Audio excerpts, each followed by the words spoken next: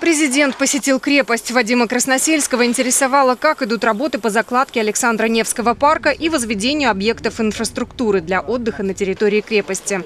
Глава государства напомнил, важно не отступать от графика. Значит, напоминаю, что э, работа по данному объекту, именно парку Александру Невскому, планируется к окончанию в целом в сдаче в эксплуатацию 7 октября этого года. Естественно, срок окончания всех работ 15 сентября этого года. По словам Вадима Красносельского, после сдачи объект передадут на баланс местной госадминистрации. Сейчас же все работы выполняются в срок. Рабочий трудится, чтобы наша республика стала еще привлекательней для туристов. Мое предложение следующее. Вот этот вот склон, этот склон, который ну, будет переведен, так сказать, в уровень и порядок, вот этот склон, он будет иметь форму. И склон, который идет от угла наверх, там тоже идет склон, засадить лаванды.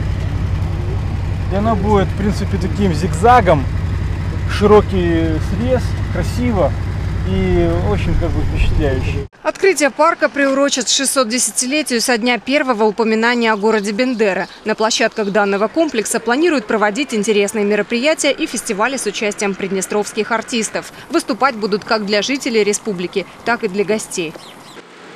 Следующий объект, который посетил президент – Бендерский стадион «Динамо». Здесь гул техники не смолкает ни на минуту. Работы должны завершиться к концу лета. Сейчас идет замена сидений в секторе для болельщиков. Засеяно футбольное поле. Рабочий трудится над покрытием беговых дорожек. По планам поверх асфальтового слоя ляжет прорезиненный.